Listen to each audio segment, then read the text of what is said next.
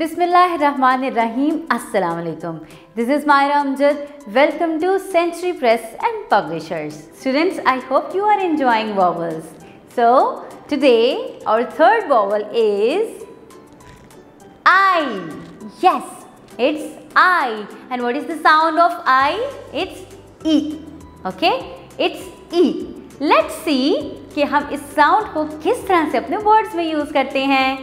जैसे कि lip l e p lip fin f i n fin and kit k e t kit okay बच्चों so let's repeat all words with me it's lid lid it's six it's bin okay it's wig wig का पता है ना आपको hmm wig. And the next one is pin. P e n.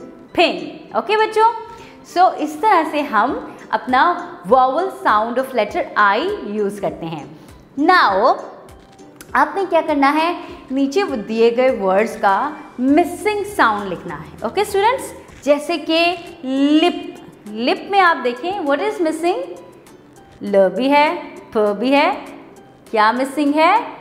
E yes it's आई तो आपने यहाँ पे आई लिखना है। अब साथ देखिए what is this bin what is the sound of bin it's ब ई न तो what is missing it's ee यानी कि लेटर आई मिसिंग है, क्योंकि ee is the sound of I okay now B ये क्या है? इट्स बिब जो बेबीज पहनते हैं खाना खाते वक्त सो ब ब ओके इट्स बिब सो यहाँ पे लेटर आई मिसिंग है. जिप ज पी व्हाट इज़ मिसिंग ई यानी कि लेटर आई जो कि हमारा वॉवल साउंड है. और सिक्स के अंदर ई हमारे पास एस भी है और एक्स भी है एंड ई मिसिंग है. यानी कि लेटर आई अब फिन के अंदर भी हमारे पास का साउंड भी है ई का साउंड नहीं है और न का साउंड है। तो हमने यहाँ पे क्या लिखना है?